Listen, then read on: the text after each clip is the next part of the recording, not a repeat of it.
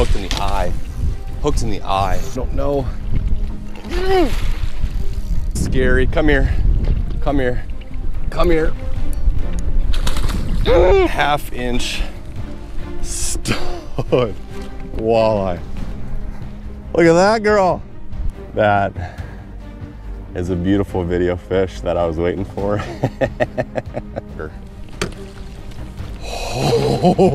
Load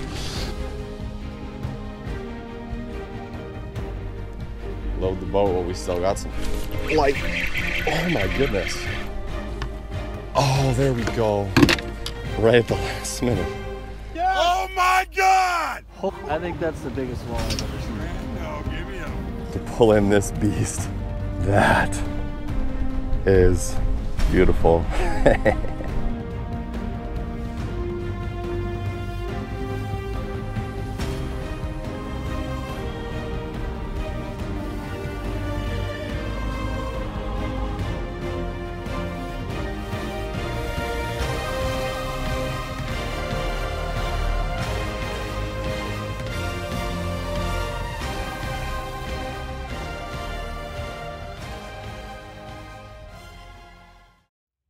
What is up, Fisher people?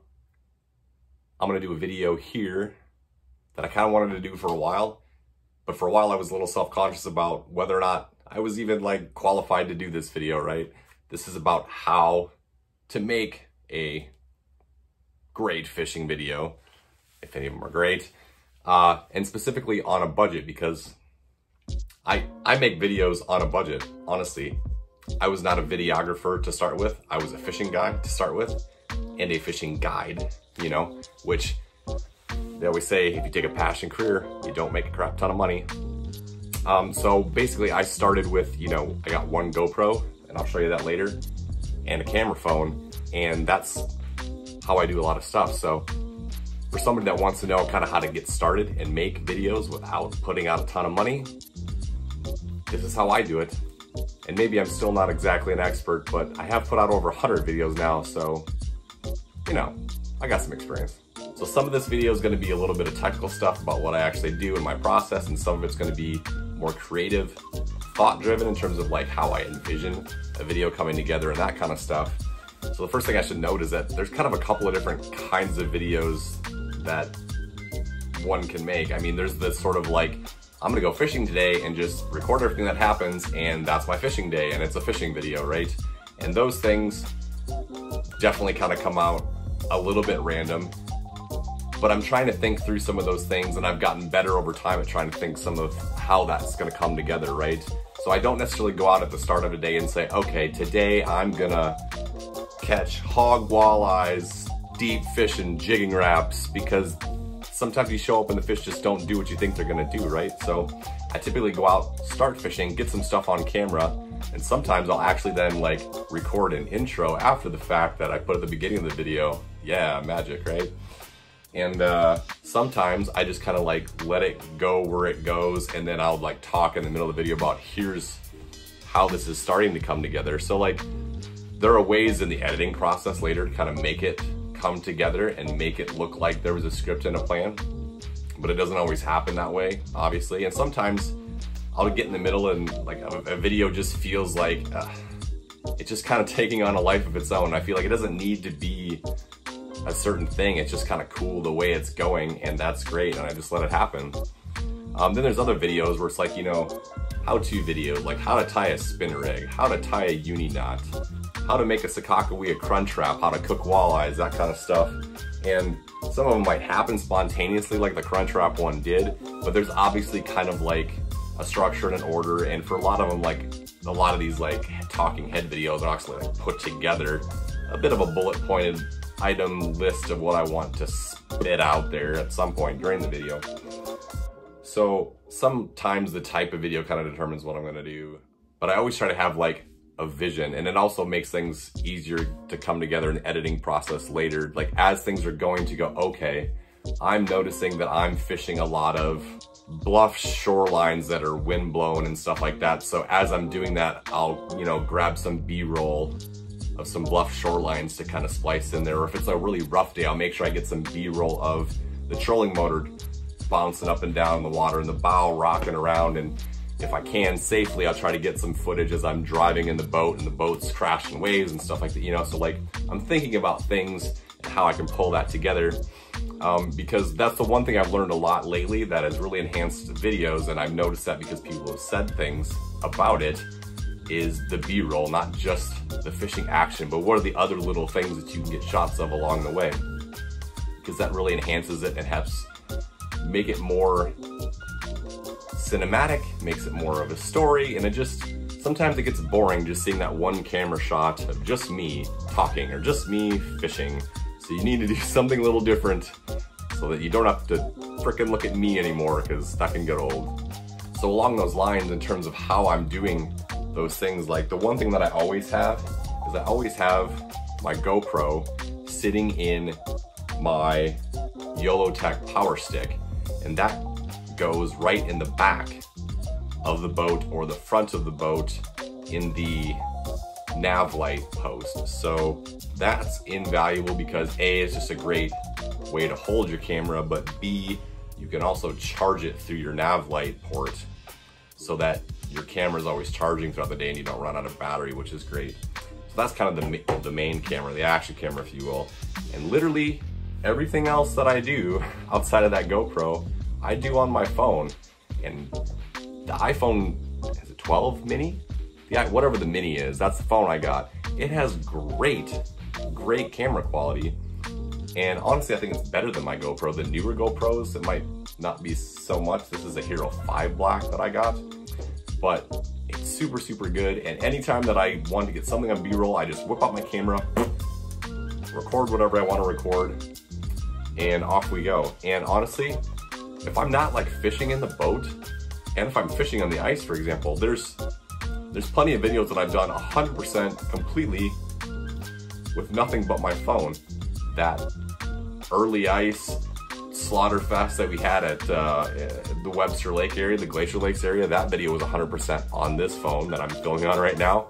That's the Kakawea Crunch Wrap video was 100% on the phone.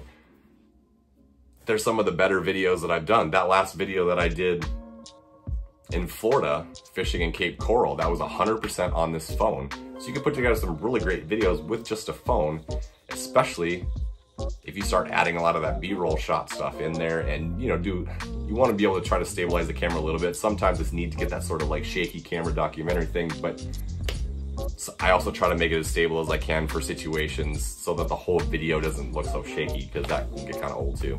So if you think you need all this fancy equipment to, to make a great or even a good fishing video, it's just it's just not true. You can do really good videos on your phone if that's all you have, especially you know, I think at some point I would like to upgrade and get some new cameras. Uh, that's a thing that I will do if I can get some more money. So along those lines, what would really help me out if you want to try to support this channel is subscribe, like, share, do all that kind of stuff. If I can reach a thousand subscribers and get to monetization, that'd be a big deal for me to upgrade some things and level up a little bit. Or you could also go on to Patreon. I got some tiers on there if you want to just support the channel support me as a creator. Um, if I can get some of those things going and have enough money to eat food and that sort of stuff and pay for this house and all those things, uh, then I can make some some uh, investments in, in more camera gear and that kind of stuff at some point. But for now, GoPro, iPhone, that's all I got. Oh, but I also got the microphone. So I got this these Saramonic Blink Pro what do they call these? The Blink 500 Pro, I got that. So that was another big thing that like, because when you're filming out on Lake Sakakawea especially, and you got a lot of wind, the audio just gets terrible. So that was one upgrade I made two years ago, was to get microphones for my GoPro so that you can hear a little better. That was a huge deal. You don't have to worry about that in your house so much and stuff that you're shooting on an iPhone indoors. But audio is a freaking big deal. So there's one thing that you kind of have to upgrade pretty early if you want to make a decent fishing video. Make sure you got good, clean audio. And if that means getting an external mic for your GoPro, so be it. Oh, the other thing, you're also gonna need, there's these GoPro external mic adapters. So if you do get an external mic, you need one of those to even make the thing work because GoPro doesn't automatically work with it. And there, I don't think there's another adapter that works for it, so you have to go through GoPro, unfortunately, that's the way it is. But a GoPro and an iPhone is a great start. External mics if you're filming in the wind to make sure the audio quality is good. And then, it becomes the creative part, just filming good content, filming neat things, and thinking about the story of how you put it together. So then in terms of like the editing software that I use, I have Mac stuff. I got Apple Mac stuff because I got the iPhone and it just makes it easier to integrate and sync things. And I've been using a, a Mac laptop for a long time. And that happens to come with iMovie for free. I've been thinking about upgrading to Final Cut Pro. Haven't pulled that trigger yet. Everything I've done to this point has been on iMovie. It's not a terrible program.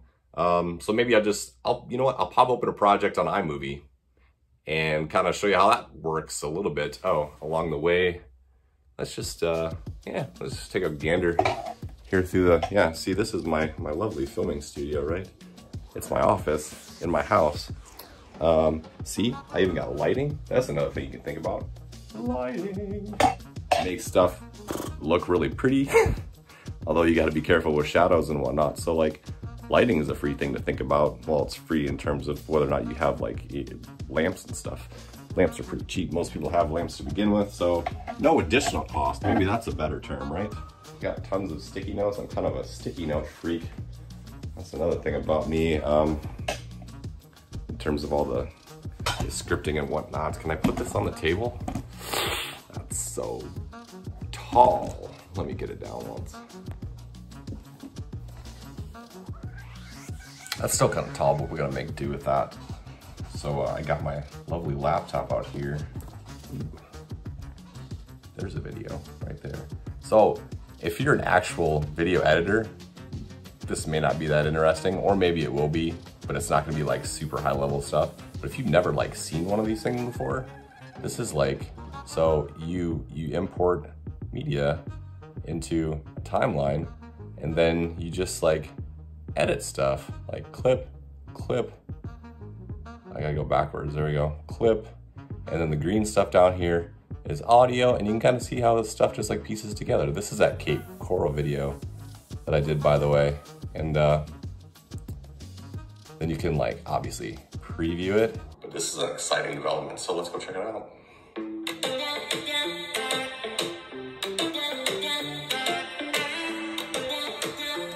So yeah, it kind of works like that. Um, so you import clips from the GoPro, you import clips from this phone, piece it all together, and then that's where all that magic happens. That's where you can start to like, you know, because when you're out there filming, sometimes you, do, you have an idea what's gonna come together and sometimes you don't. So you just kind of like film stuff and see if it makes sense. And then when you get it in this program, you might find ways to go, oh, that would be a cool little thing to insert here or insert here. And that's the stuff that takes a lot longer to figure out. Like you can always just like film a bunch of clips, dump it in there and maybe just cut the ends where you're like pushing the button to shut the phone off. Um, but the art form really comes in like piecing that all together in a creative way. And the other very, another thing to think about, like al along with the audio, the microphone, the other thing that makes a video really come together is again audio, but in terms of music, like I was just playing that intro clip of this Florida video with a little bit of background music and you'd be surprised how many things seem boring until all of a sudden you put the right song to it and you go, oh, that's kind of entertaining. like, so music is something important to think about. And I went a long time with free music, anything I could get free and just trying to mess around with that. There's some music in iMovie, which isn't all that great, but there are places you can get some music. I happen to go with, I did a lot of research and looked at a lot of stuff and thought and thought and thought, and I finally went with Epidemic Sound. I got a subscription from them and they have tons of really good music. That's, you probably noticed kind of a music shift in my videos towards the end of the fall. That's when I got that subscription. So all the music has been a lot different and it's just so much better quality, so much more unique, so many more options that I think have really kind of leveled up some of the videos, not only for me, but other people. So music is a huge, huge deal. And I got, you know, just a bunch of like, I browse. So like you can browse all their music tracks here. it's linked up to my account. And then they eventually kind of figure out like what kind of stuff you dig. And they give you recommendations. That's not bad for, I don't know, some kind of chill thing. But then you can pull it all into iMovie. So I just got a bunch of sounds that I've loaded in here and there's probably better ways of organizing this, but you know.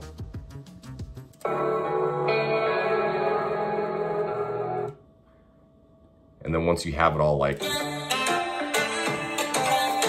loaded in here, you can start throwing it down, dragging it down onto your timeline and, and matching it up. And, and one of the things that obviously some people may notice it, some for some people it may be a little more subtle is, you know, timing things to music, timing scene changes, timing, you know, hook sets to like intense parts of the music. And that's where you can do all this cool stuff with the editing and that I've gotten really into a lot lately. And oh, look here. I've also like made stuff for my uh I got I got stuff for my author channel here. I don't know if I, I, I, decided to split that up. So I used to do like some of my book videos on this channel. And then I noticed like some people didn't really like those videos. And not only did they not like them, but they started like unsubscribing to my main channel because they're like, oh, this guy's making book videos now or whatever. Uh, so, which to me is like, I don't know, just don't watch that video, but whatever. So if I don't want those videos on this channel, I decided to split that out. So if you'd like to see more book videos, you should go to my author channel. It's just my name on YouTube, Brett Bloemendaal. Uh, trying to get that rolling a little bit as a separate thing. So like and subscribe to that stuff too, please. Yeah, like I said, that's where most of the magic happens is in the editing software after the fact.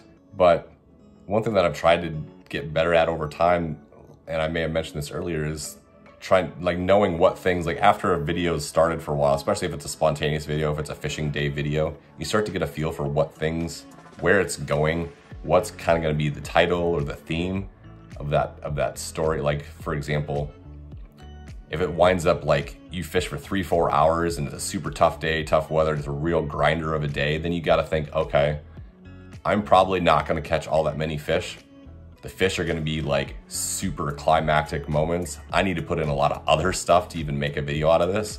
So a lot of video of me just like jigging and not catching fish and video of me like driving to new spots, like stuff to like fill those gaps to kind of tell that story of like, hey, this is a really tough long day as opposed to like skipping over the three hours that nothing happened entirely and then just showing the next fish catch, right? You got to think about like what, how is that day developing? What what is going to be the story and how am I going to tell it? And just remembering like to turn the camera on once in a while. I got, at one point I wasn't very good at that and I literally just turned it on when action happened, when a fish catch happened. And I, I started teaching myself like every once in a while just turn it on and just say what is coming to mind. Like, what are you doing right now? What are you, what's happening? What are you struggling with? What are you trying to figure out? Because, you know, fishing isn't always just about catching fish. Sometimes fishing is about the struggle and figuring out how to catch fish or why you're not catching fish. So I want to let people in on that process too when I'm frustrated. So I turn on the camera and I start talking to the camera about what's not coming together. The other great things that you can do at some point, even if you're having a really good day at some point, I in this, I really got to get better at this, is like talking about your gear, your process, your program, the pattern, what you figured out, you know, to say, all right, I started to figure out that I'm finding fish in 20 feet of water. I'm catching them on, let's call it a jigging route. And start talking about the, the cadence that you're using, the gear that you're using, the line, the lures, all that kind of stuff. Because I've learned that people like to know more about that stuff and I gotta get better at that and I will continue to get better at that. But yeah, it's kind of, it's a delicate balance between like letting the fishing day evolve organically, but also seeing what that pattern is and then kind of on the fly writing a script, if that makes sense. So as you can see, like some of the stuff is kind of challenging, but I enjoy that challenge of, of figuring that out and making that come together. And hopefully you enjoy watching the end product. That's the whole point of this, obviously. And it's starting to get to the point where more of you have enjoyed watching it. And I really appreciate that. And if you haven't already, subscribed, liked, and that kind of stuff, or you know other people that might be interested in that, just know that that directly relates to my ability to have success on this platform and to support me and help me continue doing what I'm doing. So give that some thought and I would really appreciate it and be super grateful if you were able to help out in that regard. Subscriptions, Patreon if you have it in you. And uh, yeah, hopefully we can keep this going. Hopefully I can keep doing this a lot more and hopefully you continue to enjoy it. I've enjoyed it. I want to keep enjoying it.